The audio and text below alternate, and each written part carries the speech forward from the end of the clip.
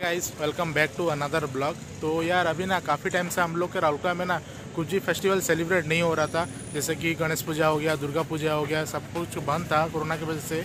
और हम लोग का दिवाली में भी सेलिब्रेट नहीं हो रहा था क्योंकि पावर हाउस रोड में जो शॉप था, पटाखे का वो नेक्स्ट मतलब दो साल पहले वो जल गया था, इसलिए बैन कर दिए थे पटाखे।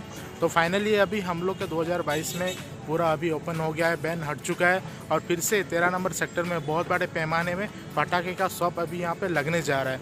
तो चलिए अभी मैं आपको दिखाता हूँ कौन कौन सा शॉप है क्या क्या सब चीज़ें है। मैं आपको पूरा डिटेल वीडियो में शेयर करूँगा। आप लोग लोग चैनल पर नहीं तो चैनल को साथ ही सब्सक्राइब कर दीजिए। तो चलिए वीडियो को बिना देरी के हम लोग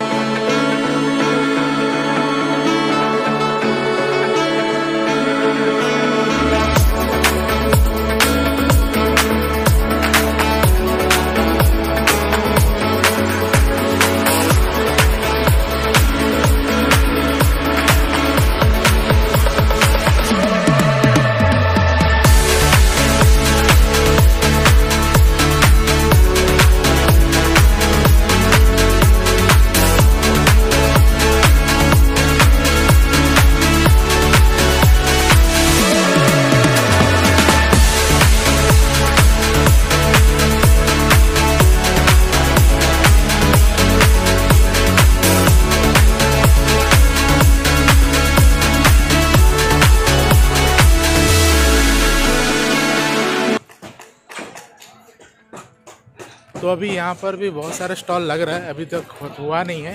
जैसे कि कल तो धनतेरस है तो कल तक शायद ख़त्म हो जाएगा क्योंकि परसों है, सोमवार को है दीपावली। तो चलिए देखेंगे आके फिर से कि क्या क्या सब लगेगा।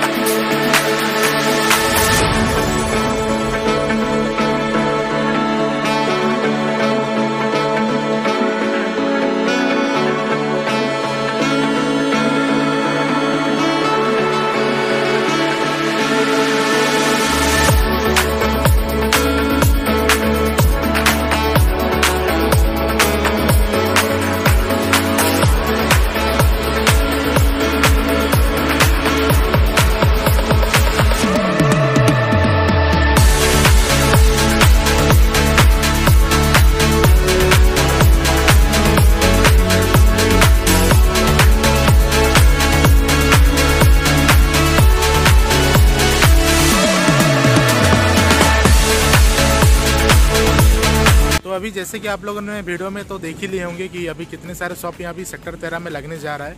तो अभी बहुत सारा माल अभी आ रहा है और काफ़ी दुकान अपना स्टार्टअप करना शुरू कर चुके हैं। तो देखते हैं ये अभी हम लोग का ना आज कल तक ख़त्म हो जाएगा, रात तक ख़त्म हो जाएगा, क्योंकि मंडे को तो हम लोग का दिवाली है तो आप लोग सुबह आएँगे मंडे सुबह आएँगे तो आराम से खरीदारी कर सकते हैं, सारा दुकान का काम भी ख़त्म हो जाएगा। तो चलिए आज के लिए इतना ही, मिलते हैं अभी नेक्स्ट ब्लॉग में।